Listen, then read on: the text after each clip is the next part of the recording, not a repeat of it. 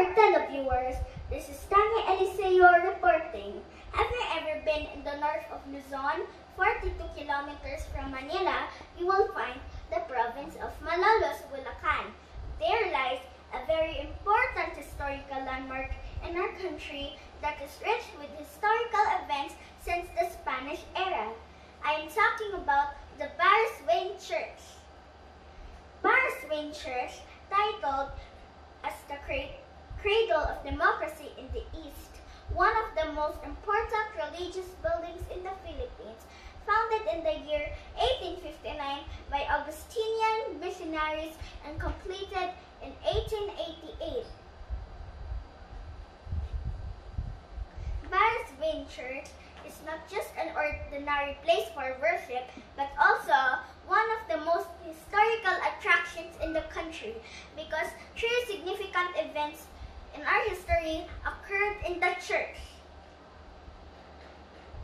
First, the convening of the First Philippine Congress on September 15, 1898, under the presidency of Pedro Paterno. In this picture was the opening of Malolos Congress. Second, the ratification of the Malolos Constitution on January 21, 1899.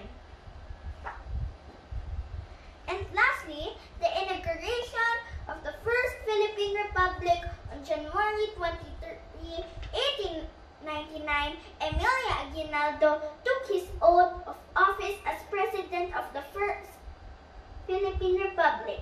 In this picture, you will see Emilio Aguinaldo walking to his inauguration from the convento of the Malolos Cathedral to Wayne Church in 1899.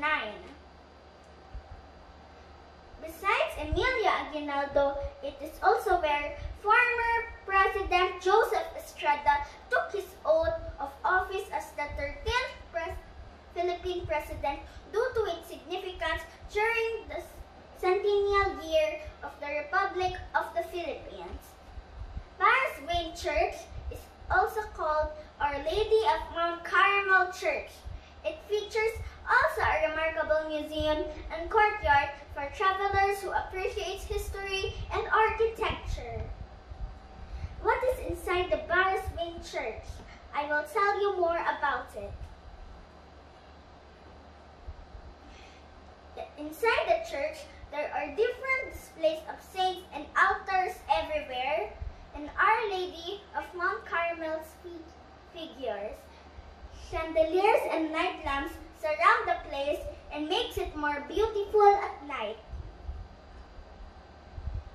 Beside it lies the Barasoain Church Museum, having a collection of artifacts and signature items from both the church's history and the history of Malolos itself.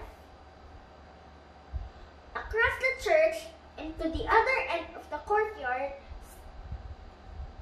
stands a statue of the very first president of the Philippine Republic, Emilio Aguinaldo. Here are some important facts about Wayne Church. Did you know Wayne Church is 133 years old? Yes, since it was completely built in 1888.